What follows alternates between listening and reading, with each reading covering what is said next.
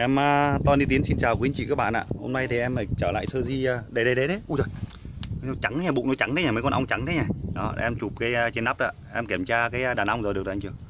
Được được được đó, như quý anh chị cái nắp nó rất nhiều nhá. Đây có bốn cầu ạ. Kiểm tra đàn ong này, em khuyên cáo quý anh chị mới thì chúng ta lên đeo mặt và bao tay nhá. Để nó tránh cái cái con ong nó nó chích mình nhé à, cái chân tầng mới nó đẻ nó cũng à, cái chân mình bỏ chân tầng nó cũng đẻ nhiều nhỉ? Con chú đây tốt nhỉ? Hả? Nhìn cũng đẻ nhiều ấy đẻ ờ, cái, cái, cái chân tầng mới đây cái quý vị này. Đó, anh chưa nhắc nên đẻ trắng đấy con chú đây à, tốt nhé chú này chú non đấy con chú non đấy đó nó tách. À, cầu mới đấy đó nhưng quý chị đã cái cầu mới đấy à mù chú nó xây cầu mới à? Đây chú đây quý chị con chú đấy ạ khó nhìn quá. Đường mà khó nhìn quá.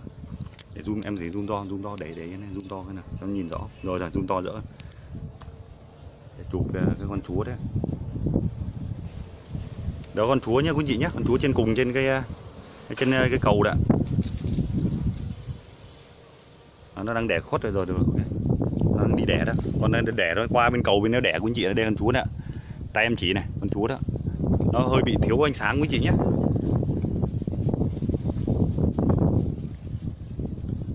như vậy con chú này đẻ khỏe đấy quý chị nhé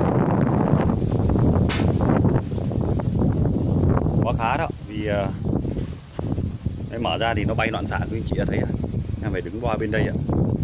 Nó đỡ hơn. À, còn đó đâu con đực to khiếp. Còn ông đực có thể nó to lắm quý chị.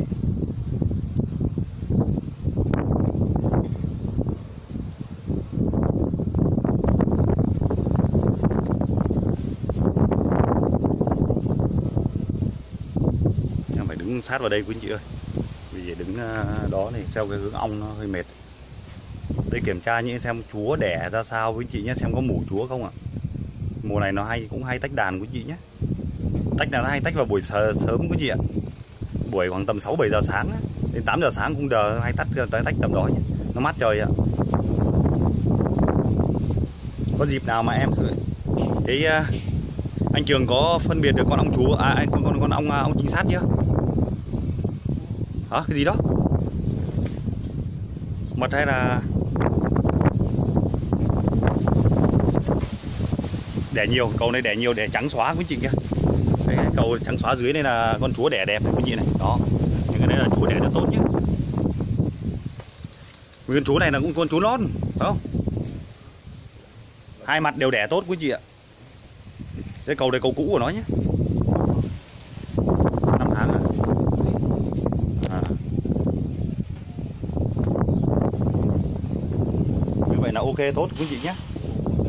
Đuôi tốt đẻ tốt nó chưa có nhu cầu. Cái ờ, đàn này nó đẻ mạnh mà chưa có nhu cầu thách đàn chưa có mũ đàn nào mà có mũ là chúng ta phải nên ờ, xử phải nên để ý cái đàn này quý vị nhé. Chúng ta căn xem cái mũ chúa mấy tức là nó ờ, bắt đầu có mũ chúa có mũ chúa thì chúng ta nên để ý cái mũ chúa quý vị ạ.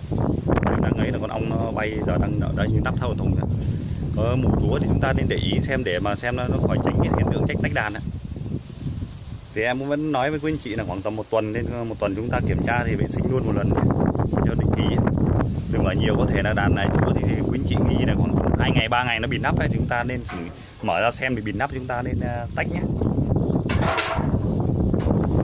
Một là chúng ta tách đàn hai là chúng ta lấy cái con à, mủ chúa lon hoặc con chúa già đi đi ổ khác mình thay thế đấy con chú đẹp thì chúng ta để lại à, để tổ này. Mà chúng ta mang, muốn thay thế ờ, con chú non thì chúng mang chú non đi ạ. Đều được ạ. Còn tách thì chúng ta mang con chú đi, con chú chú mẹ đi thoải mái hơn, tốt hơn. Còn ờ, để con chú ờ, chú non ở lại nó chưa nở, để lại cho, trong đàn này. Thì tách thì chúng ta để thông xong hai thai thai hai thùng bên cạnh nó quý vị nhé. Cũng cùng một hướng, cách nhau mỗi ngày, xanh, xích nhau một ít đi ạ. Đó, thì em kiểm tra được à, đã đã trọn vẹn xong cái ổ ong này là chú đẻ rất tốt rồi. Đang đẻ mà khỏe quý chị nhé đẻ mấy cầu là chú anh chị nhìn em nắp nó bịt trắng nên là, là quá ok rồi. Rồi cũng uh, cuối video em uh, có đến xin phép uh, dừng để xin quý chị xem thấy hay thì nhớ tặng em một like và anh chị em là chưa bấm vào nút đăng ký ở góc tay phải dưới góc tay phải của chị ấy đỏ đỏ bấm vào nút đăng ký đó và bấm cái chuông luôn để là người đầu tiên nhận khi em có em tiến Tony tiến có video mới nhé. Em xin chào em lại với chị video sau ạ.